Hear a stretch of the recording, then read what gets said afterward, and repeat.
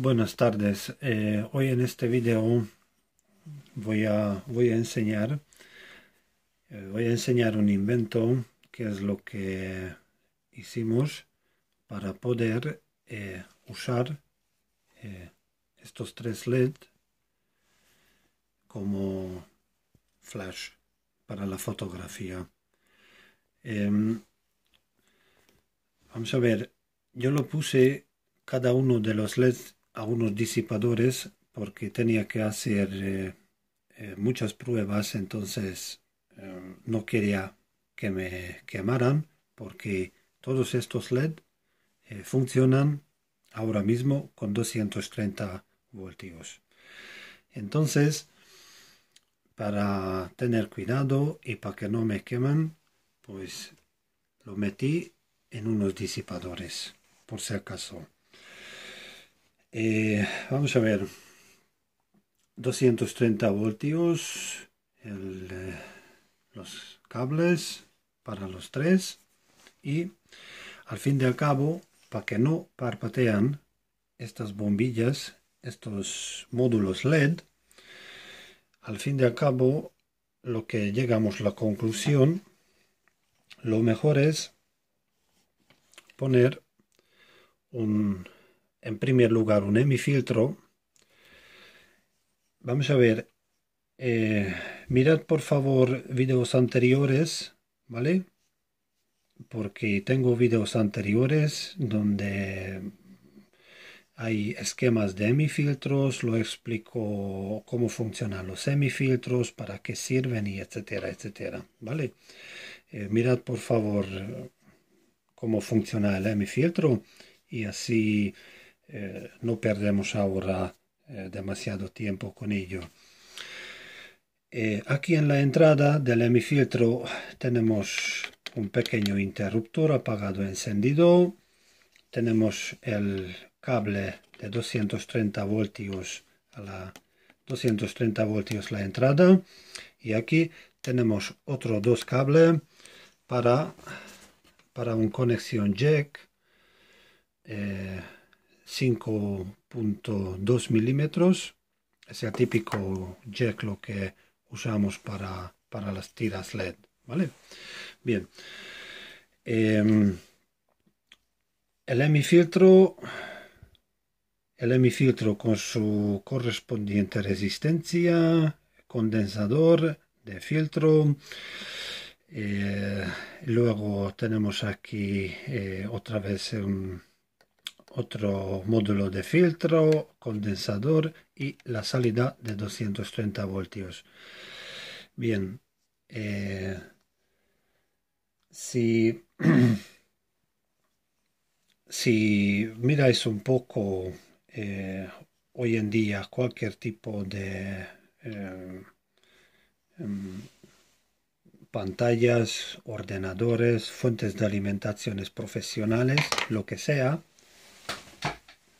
siempre, siempre podéis ver que una forma o de otra, una forma o de otra, siempre en la entrada de 230 voltios tenemos unos, bueno, en este caso es un fusible, eh, filtros, condensadores filtros y aquí prácticamente, aunque un poco esparcida, aquí mismo tenemos el hemifiltro con un, con un varistor, con una resistencia, lo que cambia su eh, valor según por la temperatura. O sea, es una fuente de alimentación de una pantalla, una pantalla LED. Entonces, justamente la base de, conocimiento de la electrónica y cómo funcionan los módulos LED, pues eh, leyendo sobre este tema llegamos a la conclusión. Lo que es mejor poner un eh, hemifiltro muy importante con la resistencia incorporada. Y luego cuando ya tenemos la salida luego cuando ya tenemos la salida en la salida desde aquí del hemifiltro ponemos un condensador de 0,1 o 0,3 eh, microfaradios.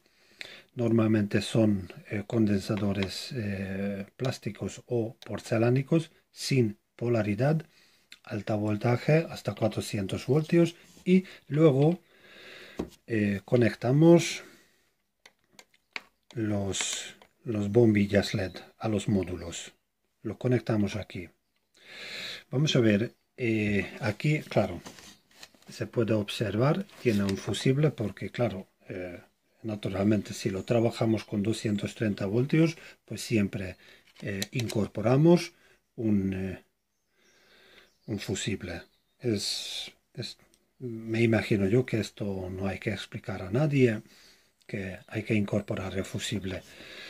Em, o sea, la salida del hemifiltro tenemos aquí el condensador, otra vez una especie de filtro y los tres LED eh, conectada juntos.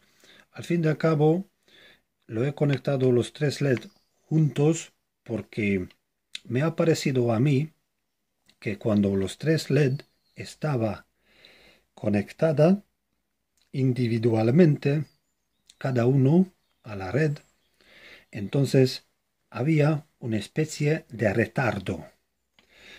Específicamente era este. Este, este LED, este módulo LED, lo que tenía un pequeño retardo. O sea, cuando le di el interruptor a los tres LED no encendió los tres juntos. Esto, este siempre se tardaba algo más. Bueno, por el motivo lo que fuera. Entonces lo llegué a conclusión que poniendo los tres LED juntos con un condensador, con un, con, un condensador, conectando los tres juntos, ahora ya sí que encienden y apagan juntos a los tres. Em, claro, tenemos el jack 5.1 2 milímetros macho lo que está conectada aquí en este punto eh, para que a través de este check le damos la pulsación abrir cerrar abrir cerrar. Bien. Eh, vamos a ver voy a voy a terminar con el con esta primera parte del video voy a eh, colocar la, móvil en el soporte y voy a enseñar entonces ahora mismo cómo funcionan los tres LED juntos. ¿Vale? Hasta ahora.